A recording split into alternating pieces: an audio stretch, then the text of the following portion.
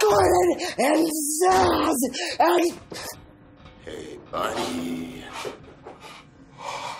do not talk to me. You I get it, pal. This place is full of loonies. I just thought we could help each other out.